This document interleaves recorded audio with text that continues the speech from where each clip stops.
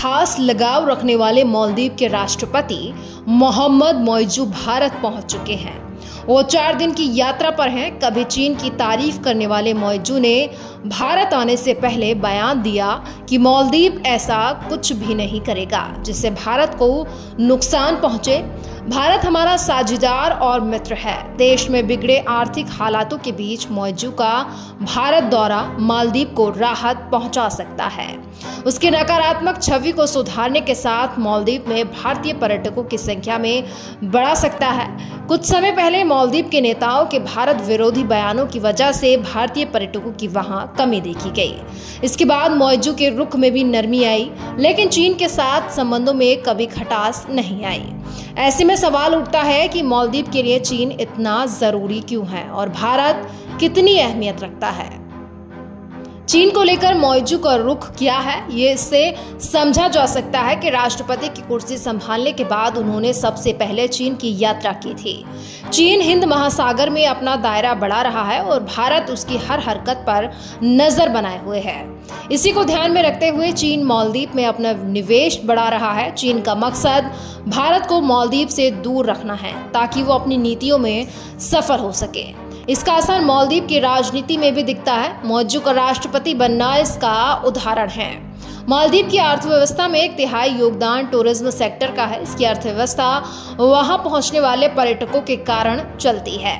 यही वजह है कि मालदीव चाहता है कि चीन पर्यटन और इंफ्रास्ट्रक्चर सेक्टर में उसे सहयोग करे। वो मुक्त व्यापार समझौता चाहता है। चीन मालदीव की मदद करके उस पर अपना प्रभाव बनाना चाहता है। दोनों की दोस्ती को भारत के लिए खतरा माना जाता रहा है। मालदीव में कई इंफ्रास्ट्रक्चर प्रोजेक्ट में चीन ने निवेश किया है। जानकारी के मुताबिक एक अज्ञात चीनी फार्म ने फ्यूदो फनोल नाम का एक छोटे से मालदीव के टापू को 50 साल के पट्टे पर 4 मिलियन डॉलर में खरीदा। ये टापू मालिक अंतर्राष्ट्रीय हवाई अड्डे के पास है। दिलचस्प बात यह है कि 2006 से इस द्वीप का उपयोग सुरक्षा जेल के रूप में किया जा रहा था। और 2010 में इसे बच्चों के लिए सुधार प्रशिक्षण केंद्र के रूप में खोला गया और बाद में 2016 में इसे चीन को पट्टे पर दे दिया गया।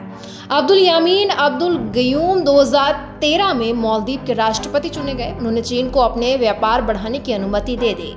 2018 में जब मालदीव में गयूम शासन द्वारा कुछ राजनीतिक हस्तियों को कैद किया गया था, तब भारत ने हस्तक्षेप किया था और गयूम को आपातकाल की घोषणा करने से रोकने के लिए कहा था। उस समय चीन ने भारत को मालदीव की घरेलू राजनीति में हस्तक्षेप करने के खिलाफ चेतावनी दी थी। चीन ने राजनीतिक रूप से मालदीव से सबसे कम विकसित देश की श्रेणी में ऊपर उठाकर बेहतर अर्थव्यवस्था बनाने में मदद की। मालदीव के आसपास हिंद महासागर क्षेत्र राष्ट्रपति शी जिनपिंग का ध्यान केंद्रित कर रहा है, जिन्होंने वहाँ बेल्ट एंड रोड इनिशिएटिव की एक शाखा समुद्री रेशम मार्ग परियोजना का विस्तार किया इस परियोजना में मालदीव की चुनिंदा परियोजनाओं सहित यूरेशिया और अफ्रीका में बुनियादी ढांचा परियोजनाओं के लिए एक ट्रिलियन डॉलर देने का दावा किया गया।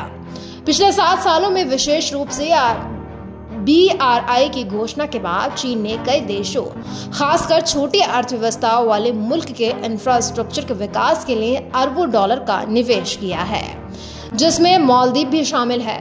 मोइजू पिछले साल भी सत्ता में आए थे और अपने पूरे चुनावी प्रचार के दौरान उन्होंने भारत के असर को कम करने का वादा किया था। उसके सत्ता में आने के बाद ही भारत के साथ संबंध तनावपूर्ण हो गए। भारतीय सेना के मालदीव से हटाने की बात कही मालदीव के नेताओं की भारत विरोधी बयानबाजी ने हालात और बिगाड़ दिया। इसका सीधा असर वहाँ के पर्यटन पर पड़ा, जिसका गहरा कनेक्शन भारत से है। पिछले साल मालदीव पहुँचने वाले भारतीय पर्यटकों की संख्या में करीब पचास हज़ार की कमी आई और 150 मिलियन डॉलर का नुकसान हुआ। मौजू को ये बात समझ आ चुकी है कि देश की अर्थव्यवस्था को रफ्तार देनी है तो भारत का साथ ज़रूरी है।